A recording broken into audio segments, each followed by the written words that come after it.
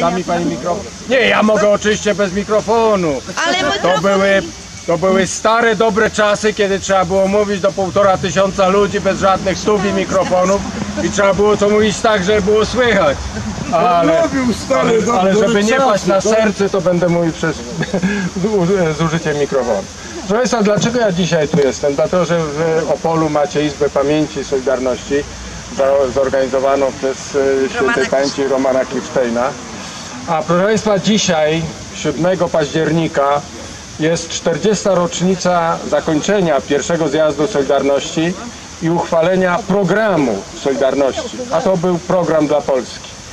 Proszę Państwa, no tytułem tylko też przypomnienia tego rocznicowego powiem, że w tym programie znalazły się takie postulaty jak Trybunał Konstytucyjny, Trybunał Stanu, e, Rzecznik Praw Obywatelskich, Naczelna Rada Sądownicza i można powiedzieć ogólnie cała głęboka, poważna e, reforma całego wymiaru sprawiedliwości, łącznie z takimi instytucjami jak reforma e, prokuratury. Państwa, dodam tylko jeszcze, że mm, Państwa, a 40. rocznica zjazdu i uchwalenia programu Solidarności to o tyle wielka i ważna rocznica, że to był naprawdę program dla Polski. To było 37 tez, które e, opisywały, czy jakby mm, ogarniały całość problematyki naszego kraju.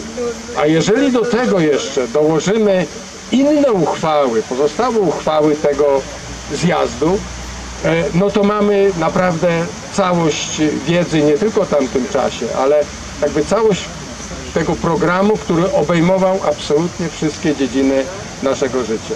Tak to już jest, że kiedy nagle popadamy w jakieś kłopotliwe, trudne czasy, to wtedy warto zwrócić się jakby do początku, zobaczyć, kurczę, jak to było wtedy, kiedy nam się te wielkie rzeczy, wielkie plany po prostu udały i przypomnieć. Ale mogę powiedzieć jeszcze jedną rzecz.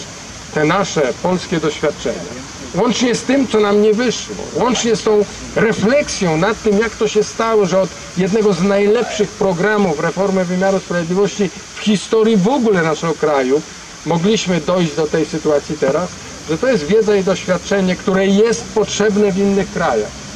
Proszę Państwa, w Ukrainie było bardzo potrzebne. Choć oczywiście nie jest łatwo, nie jest łatwo, e, że tak powiem, te, w tych innych krajach, no, no nie jest łatwo te, te, te reformy prowadzić.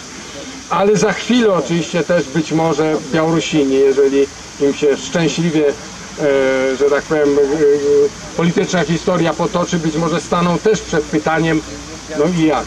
Jak teraz to reformować? Jak się za to zabrać?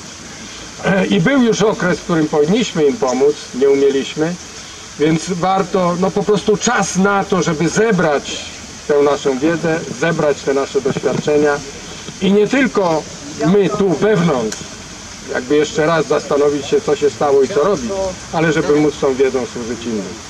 Także niech żyje Opole. E, Doszliśmy do tego, że bez, bez Opola to i nazwy Polska by nie było, no bo niby skąd i że to dzięki Opolu my tę nazwę Polska, którą gdzieś tak wszyscy lubimy i chłopimy, mamy. Więc niech żyje Opole i niech żyją te programy, które tutaj się stworzą. No i wszystkiego dobrego.